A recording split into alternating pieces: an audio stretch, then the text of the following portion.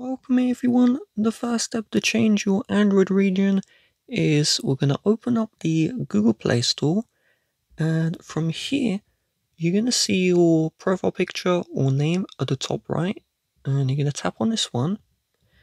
You are then going to see the payments and subscriptions and in here you're going to select the payment methods and then we're going to need to select the more payment settings here.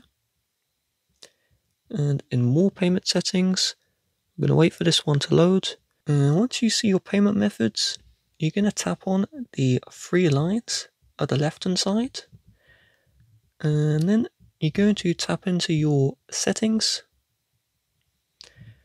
And in your settings you're going to scroll all the way down until you see the country or region. And you're going to tap on the pencil next to your country. It's then going to let you edit your current address but we need to create a new profile to change the country. And so we're going to select continue to create this new payments profile. And we're going to select a new country. Let's say the United States. And then we're going to need to enter in our address. And to do this I just search up fake address generator and then the country and just copy the relevant info. And once you've done we're going to select submit. Once you have created your new payment profile you're not done just yet because you now need a VPN which correlates to the country that you want to switch to. So back in the Play Store you just want to search up for free VPN and just get a VPN which has your country. You may have to go through a bunch of these. I use Hotspot Shield, but I don't recommend this. I bought the subscription by accident and I don't want to pay for another VPN. So I'm gonna uh, first of all open up the Hotspot Shield and I'm gonna connect to the United States. So this is the uh, country which I created the payment profile for. And then we're going to close out of the Play Store. We're going to reopen the Play Store.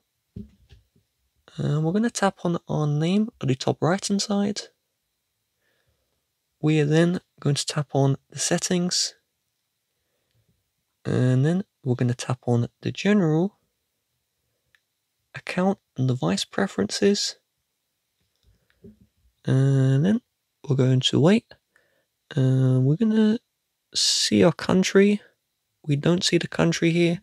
So I'm just going to close our Play Store try again. And there we go the second time. We can now see the United States. If you only see your original country your VPN is not doing its job so you will need to switch the server.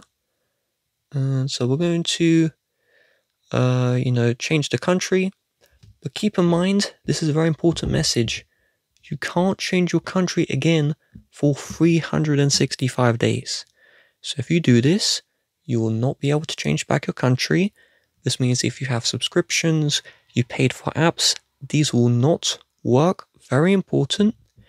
If you're like me and you, have stuff, you haven't switched country, um, what I would recommend, the second method, this is one I personally recommend, is you're going to create multiple Google Play accounts for each country.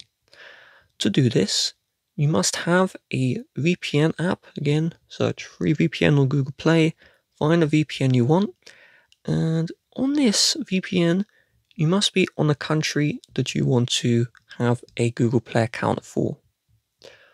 Once you've done this, we're going to tap on our profile picture here, and then we're going to tap on the arrow and then we're going to add another account.